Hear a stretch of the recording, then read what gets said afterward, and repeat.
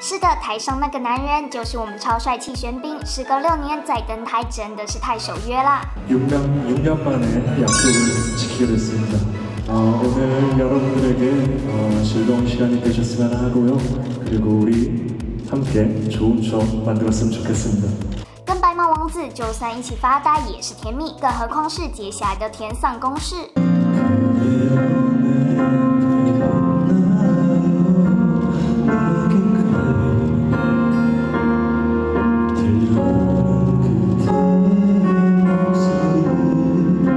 好不好听？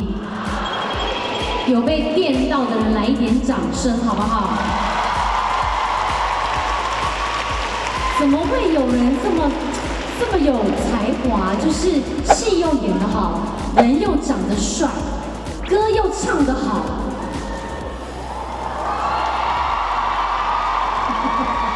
？ok 那不知觉敲了什么？